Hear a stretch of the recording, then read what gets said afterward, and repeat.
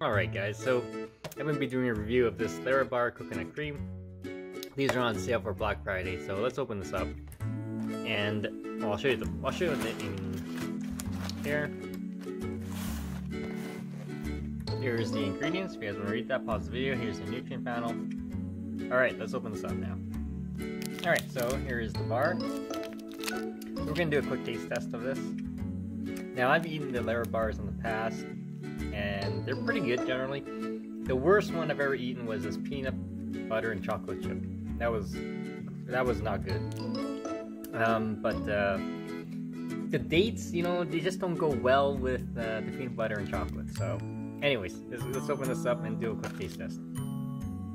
Okay, so this is what it looks like.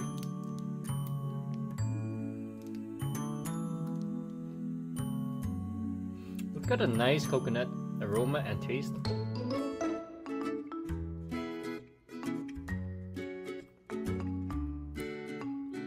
Yeah, it's actually really nice. If you like coconut, you'll like this. Um, this compared to the apple cinnamon one, um, apple cinnamon is more than one note. This is just like a one note sort of like sweet coconut.